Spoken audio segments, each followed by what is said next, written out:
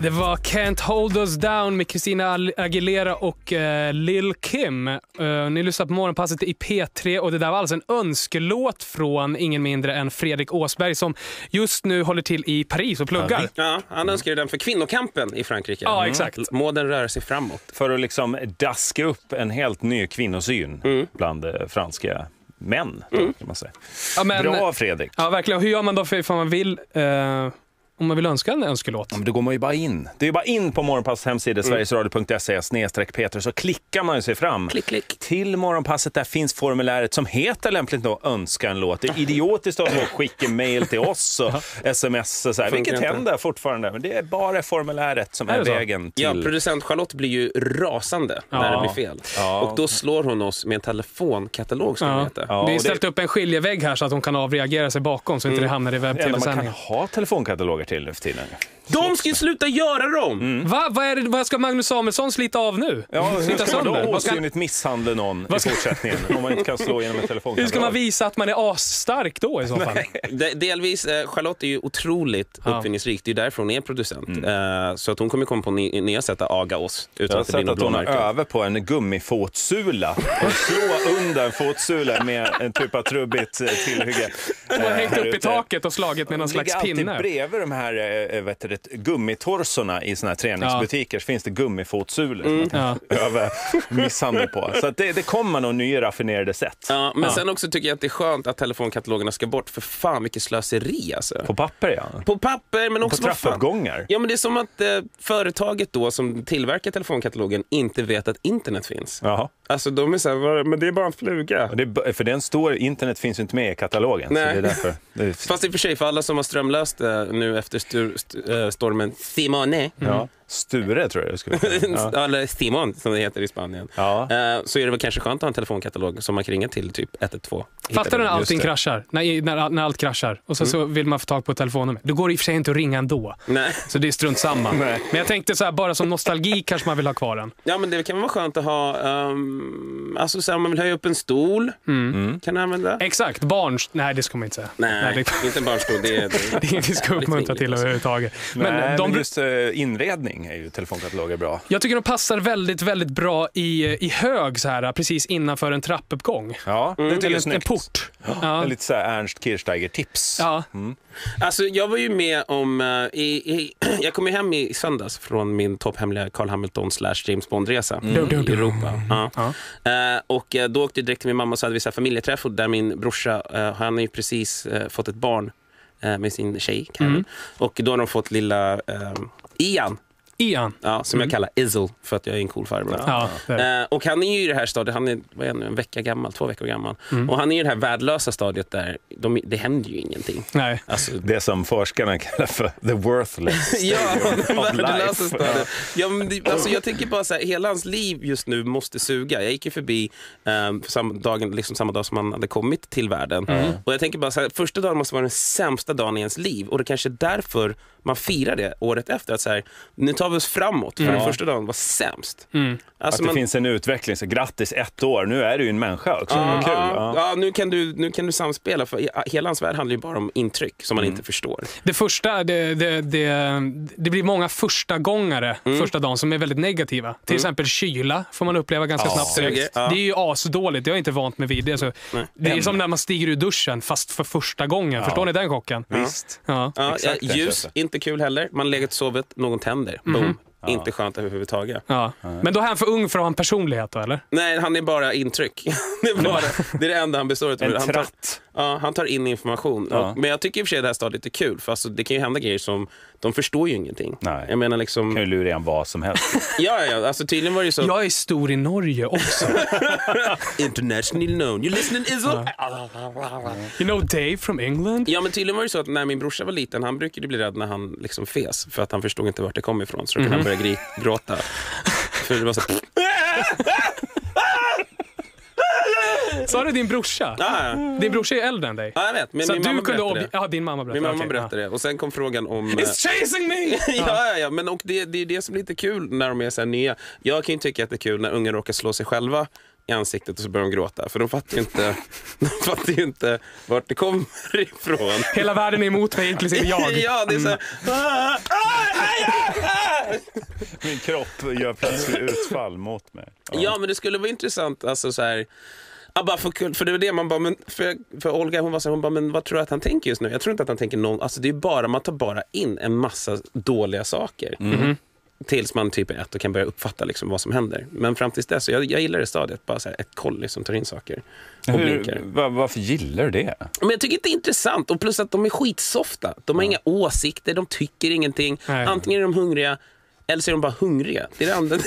De är bara hungriga, det är, all- det är alternativet. Det är inte, "Åh, jag är hungrig och så får de mat och sen är de lugna igen. Det är inget så här, men jag vill och jag tycker och har åsikter. Vill du längtar du tillbaks till det stadiet själv? Ja, men jag säger det till mina brorsor hela tiden. Alltså, vi var som bästa vänner när ni inte kunde prata. Fan, vi var så tight. Men hur, hur är din brorsa då? Är han panikslagen och eh, har, eh, är stressad konstant nu? Alltså, fyra och, fjärde barnet in, han är som Gandalf the fucking Grey. Är det så? han är så cool. Här är en unge till här någonstans. Jag tycker jag hör någon skrik Where's här under my borden. child? Akta var ni trampar, det ska finnas fyra här någonstans.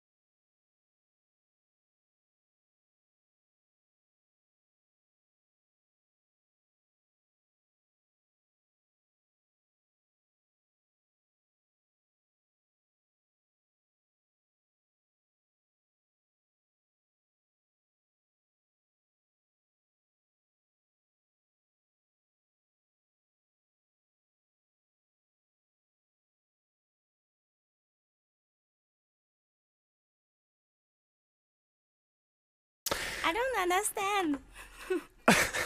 Talk Dirty med Jason Derulo och uh, Two Chains. Eh, ni lyssnar på Morgonpasset i P3 med Jörgen Lötgård, Kodjo Kolor och mig David Ryd. Yes. Japp. Eh, jag har hittat en artikel. All right. Jag vet inte om ni kanske redan har pratat om det här, men eh, biskop Bling Bling. Nej, det känner inte jag igen. Det hade jag kommit ihåg. Så här är det, biskop Bling Bling rapporterar Expressen via Dan Edström. Det är min nya grej. Jag berättar vem som rapporterar. Ja, men det är bra källhänvisning. Visst, källa Dan via Expressen. Berättar om eh, biskop Bling Bling som renoverade sitt hem för, inte ett och inte två, utan tre. Hundra miljoner. Nej. Är det här en svensk biskop? Eh, nej, det är en biskop, ehm, en tysk biskop. Ja. Hur mycket renoverar han för sa du? 300 miljoner kronor. Kronor. Eh, Den t- tyske biskopen lyxrenovering av sitt hem på över 300 miljoner kronor är inte populär hos den katolska kyrkans ledare, Nähä. a.k.a. the Pope. Förra veckan stängdes påven, på- stängde påven av Frans Peter Terbatz van Elst efter att tyska medier rapporterat om en biskop som har lagt 120 000 kronor på ett badkar och 2,5 miljoner kronor på, gissa, En Handfat. spis. nej, Handfat. Nej. Dusch. Eh, nej, Golv. nej, Tak. nej, Lampor. nej. Tapeter. Ja, förlorade jag. Tapeter. Tapeter. garderob. Nej. Va? Ja, men han Ah, måste ju ska ju hänga upp sina särkar. Ja, just det. De ska hängas in någonstans. Ja. Ja. Ja. det är en liten utgift det där. Som... Ja, vad blir det idag? Blir det svart eller vit särk? Ja. Ja, och eh, uppgifterna om biskop Bling Bling har ju gjort tyska katoliker rasande, eh, skriver de. Och katolska grupper i Limburg försöker nu att hitta sätt att gottgöra biskopens synder. Hans resident är som en arvsynd som han har lagt efter sig. Människor i nöd som behöver hjälp borde få bo i residenten och få mat. Säger en talesman för organisationen till eh, tidningen Independent. Vad då. hette talesmannen? Var det Adolf? Nej, Nej. nej, Det nej. fanns det- konnotationer till gamla tal i, i hans sätt att uttrycka sig. Ja, men det, det, man måste vara uttrycksfull och stark eh, när man på något sätt ska försöka forcera igenom det här. Um, Oh, ja. Alltså jag tänker så här, äh, han kanske inte skulle gått för det här renoveringsprojekt eller renoveringslägenheten. Han kanske skulle köpt en nyckelfärdig från början. Ja, just det. För det blir ju lätt att det svävar iväg om man köper renoveringsobjekt. Ja. Ja, exakt. Nu är det klart. Det är så här, det här mycket, så här mycket kostar det. Annars är det lätt att det svävar, svävar iväg. Det här är ett typiskt fall av det. Han har fått de här listorna hem och så bara, ja men ska jag inte ha ett guldhandtagen Ja, då? Det kostar ju bara exakt. 60 euro extra. Och så, och så till sist sitter man där med en garderob för flera miljoner. Ja, är man lite svag för säljare så blir det ju lätt så. Ja, verkligen. ja, men alltså, det, det påminner mig, jag tänker på, kommer du ihåg Master P? Ja, han ja. Han, Jag han, honom. han hade ju, jag, jag tror att biskop Bling Bling och Master P är ju kompisar. Det är förmodligen finns det inspiration Man hör ju det på namnet. Ja, och då blir problemet att biskopen, han, hallå, is, das ist uh, Master P? Uh, uh, ich, uh, ich heiße ein uh, apartment und uh, I would like for you to, to uh, renovate for mine, meine, meine money. Aha! och, så, och Master P, han, hela hans hus var ju guld. Ja. Det var ju såhär, I got gold toilet, I got gold hand. Så du menar att han köpte det begagnat? Nej, men här Master? P kom in och bara, I'ma fix your crib Ah, okej. son. You just been pimp. Boom. Och sen 300 mille senare Ja. så får biskopen skit för Master P's inredningsteknik. Master P skulle också kunna vara... Men alltså att någon som är asbra på att kissa. Ja. Eller? Ja, men det, det, Det, blir inte, det måste ju ha nämnts tidigare. Ja, det kan inte vara någonting som jag kom på nu. ja, men ja, men Vem vet?